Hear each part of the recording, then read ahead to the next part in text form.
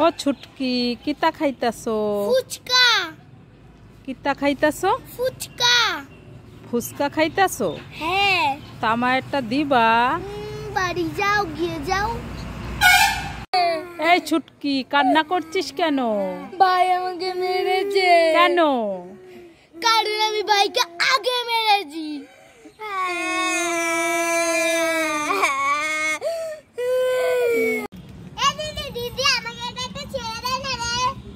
এখন না পরে খাবি যা এখন থেকে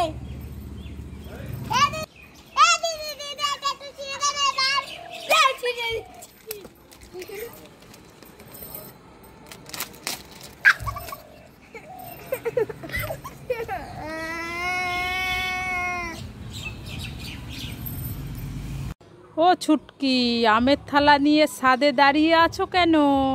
আরে আর বইলো না। একটু ছাদে দিয়েছিলাম শুকাতে একটু আচার বানাবো। তাই পাশের বাড়ির ছেলে শুধু উকি মারছে কি করব তাই পাহারা দিচ্ছি।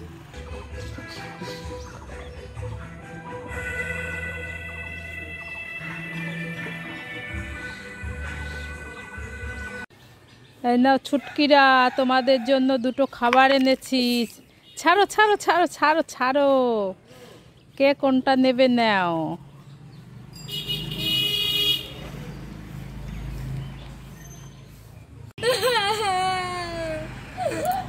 ও ছুটকি বসে বসে কান্না করছ কেন?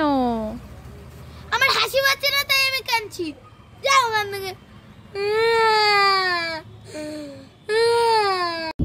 ছুটকি এই নে তোর জন্য লেজ এনেছি খা। আমি লেজ খাব না। কেন? আমার যদি হনুমানের মতো লেজ হয়ে যায় তাহলে কি হবে? লোকে কি বলবে আমাকে? ডাক্তার বাবু ঘুমাইলে ঘুম আসে না খাইলে খিদে লাগে না ওষুধ দেন। তা কখন কখন খাব?